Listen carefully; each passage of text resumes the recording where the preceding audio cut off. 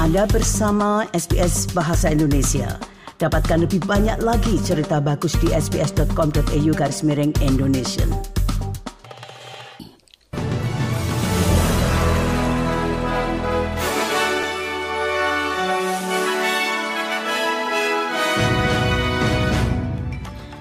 Warta berita SBS audio untuk hari Senin tanggal 10 Juni. Sari berita penting hari ini, pihak koalisi federal mengatakan mereka berkomitmen terhadap perjanjian Paris tetapi akan membatalkan target iklim Australia. Australia dari komunitas migran antara 737 orang yang mendapatkan kehormatan dalam daftar ulang tahun raja. Dan dalam sepak bola, Italia bersiap untuk mempertahankan gelar kejuaraan Eropanya. Berita selengkapnya. Perdana Menteri menuduh pihak oposisi federal menjauhkan diri dari tindakan perubahan iklim setelah Peter Dutton mengatakan koalisi akan mengabaikan target emisi Australia jika terpilih. Pemimpin pihak oposisi tersebut mengatakan kepada Weekend Australian bahwa dia berencana untuk menentang target yang ditetapkan pada tahun 2030 yang merupakan pemotongan sebesar 43 persen dibandingkan dengan target tahun 2005 dengan mengatakan bahwa target tersebut tidak mungkin tercapai. If you walk away from the Paris Accord, you'll be standing with Libya, Yemen and Iran and against all of our major trading partners and all of our important allies. Seorang tetua Gamil Laroy yang telah mengabdikan hidupnya untuk meningkatkan kesempatan pendidikan bagi masyarakat pribumi adalah salah satu dari 737 warga Australia luar biasa yang diakui dalam penghargaan ulang tahun raja. Bibi Beryl Van Oplo telah mengajarkan keterampilan perhotelan dan ketenaga kerjaan selama 50 tahun.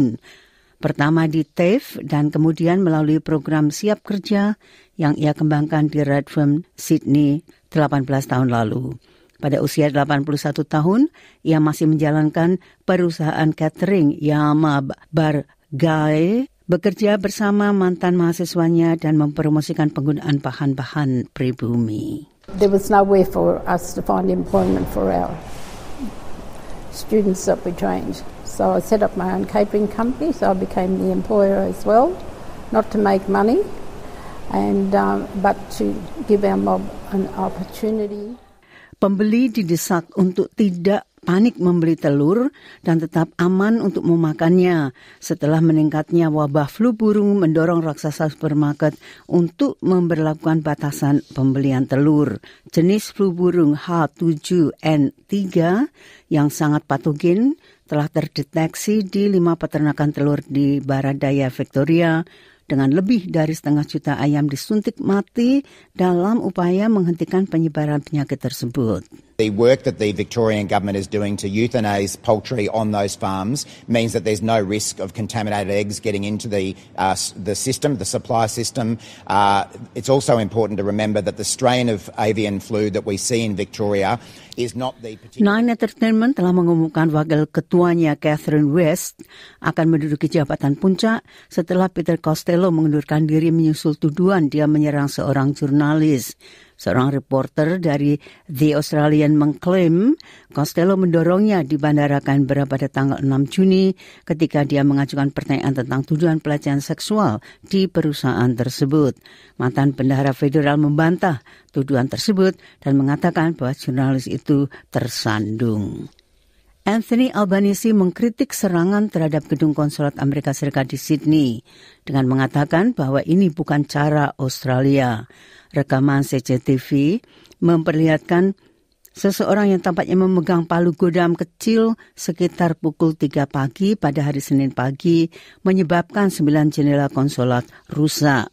Seketika terbalik berwarna merah, simbol yang terkadang digunakan oleh aktivis pro-Palestina juga dilukis di gedung North Sydney. Para pengungsi di kamp pengungsi Al Nusairat di Gaza menggambarkan pembantaian yang terjadi setelah operasi militer Israel yang membebaskan empat sandera namun menyebabkan 274 warga Palestina tewas. Israel merilis rekaman yang menunjukkan operasi penyelamatan terjadi ketika personel pasukan pertahanan mendapat serangan dari apa yang disebutnya sebagai teroris. Vehicles with Palestinian number plates came as if they were bringing aid, but all they got was soldiers, special forces, in an area filled with displaced.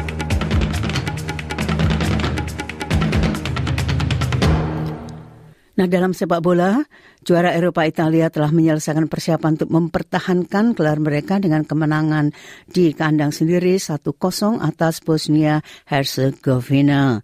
Davide Fatesi mencetak satu-satunya gol pada hari Minggu 9 Juni di Empoli menjelang pertandingan pertama kampanye Euro 2024 mereka minggu ini yang akan mulai tanggal 16 Juni melawan Albania. Tim lain di grup B Italia, Spanyol, dan Kroasia, keduanya memenangkan pertandingan pada akhir pekan dengan Spanyol mengalahkan Irlandia Utara 5-1 pada hari Sabtu, sementara Kroasia mengalahkan Portugal 2-1. Azure yang menang di Euro 2020 tetapi gagal lolos ke dunia Piala Dunia terakhir berharap dapat memenangkan gelar Eropa ketiga di turnamen tahun ini di Jerman.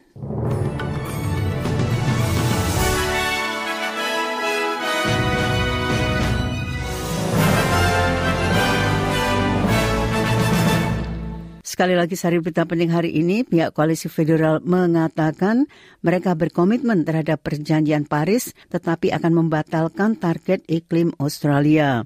Australia dari komunitas migran di antara 737 orang yang mendapatkan kehormatan dalam daftar ulang tahun raja. Dan dalam sepak bola, Italia bersiap untuk mempertahankan gelar kejuaraan Eropanya. Sekian warta berita. SBS Audio untuk hari Senin tanggal 10 Juni.